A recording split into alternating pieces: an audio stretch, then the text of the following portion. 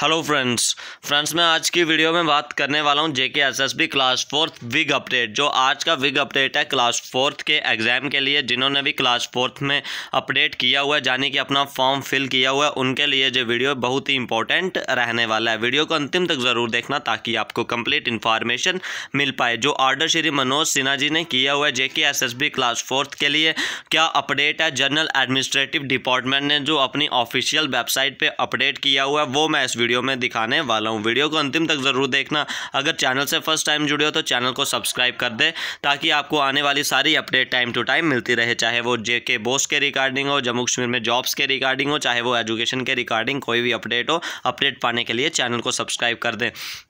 चलिए अब हम वीडियो को शुरू करते हैं। सबसे पहले मैं आपको नोटिफिकेशन दिखाता हूँ जे रहा फ्रेंड्स, आपका ऑफिशियल नोटिफिकेशन आप भी इस नोटिफिकेशन को इनकी ऑफिशियल वेबसाइट से डाउनलोड कर सकते हो J K G A D general administrative department से। J K G A D से आप इसको डाउनलोड करके खुद भी चेक कर सकते हो। बात करूँ मैं किसके रिगार्डिंग इन्होंने इधर बोला हुआ है। ठीक है जो नोटिफिकेशन है। सबसे पहले जो मेन बात करें, Jammu and Kashmir appointment of class four special requirement जो आपकी क्लास फोर्थ की स्पेशल रिक्वायरमेंट है, उसी के रिगार्डिंग जो नोटिफिकेशन रहने वाला है। ठीक है पूरा इस नोटिफिकेशन को पढ़े, जो आपका union territory sub rule five था, ठीक है? हमारे जम्मू एंड कश्मीर का जो sub rule five rule five of Jammu and Kashmir appointment जो क्लास फोर्थ अपॉइंटमेंट का रूल फाइव था, जो पहले का नोटिफिकेशन आया हुआ था हमारा चार जून का, ठीक है? उधर जो रूल फाइव के अकॉर्डिंग जो नोटिफिकेशन था, उसकी बात उन्होंने की है, ठीक है? रूल फाइव में उन्होंने क्या बात की गई है? Candidate will be required to indicate their order of preferences for allotment ठीक है कैंडिडेट क्या कर सकते हैं? Are require to indicate their order of preferences यानी कि वो उन्होंने अपना अब ऑर्डर ऑफ़ प्रेफरेंसेस दिखाना पड़ेगा। जैसे कि जेके एसएसबी के असिस्टेंट अकाउंटेंट का था same like as assistant accountant की तरह। जैसे उन्होंने भी अपनी चॉइस प्रेफरेंस किया हुआ था और अपनी अलॉटमेंट की प्रेफरेंस दी हुई थी।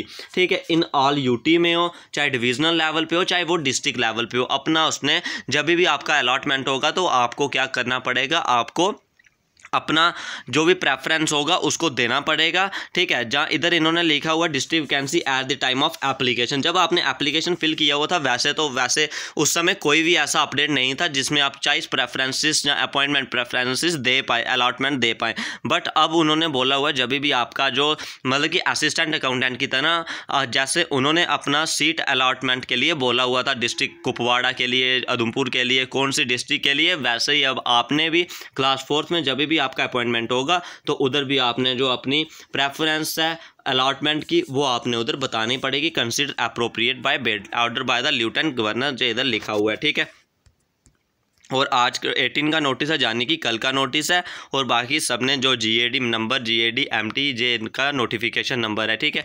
आप भी जो नोटिफिकेशन नंबर आपका S O one eighty four dated चार जून का नोटिफिकेशन था, जो J K S S B class fourth के लिए था, उसी नोटिफिकेशन में जो रूल फाइव था, उसी रूल फाइव के अकॉर्डिंग उन्होंने बोला हुआ कैंडिडेट को अपना चॉइस जो प्रेफरेंसेस जिसको अलाटमेंट बोलते हो, वो यूटी डिस्ट्रिक्ट में होगा, जैसे भी होगा, उसको टाइम ऑफ़ एप्लीकेशन में उन्होंने देना चाहिए था, लेकिन उन्होंने ऐसा कोई भी ऑप्शन नहीं दिया था, लेकिन जो होगा उसको बोर्ड अपने हिसाब से कर लेगा और जब भी आपका अपॉइंटमेंट होगा। इस वीडियो में बस इतना ही। अगर इसके रिगार्डिंग कोई भी डाउट हो कमेंट बॉक्स में ज़रूर पूछिए ताकि आपको सारी कंप्लीट इन्फॉर्मेशन इसके रिगार्डिंग मिल पाए। इस वीडियो में बस इतना ही। अगर चैनल से फ़र्स्ट टाइम जुड़े हो तो चैनल को सब्सक्राइब कर दें।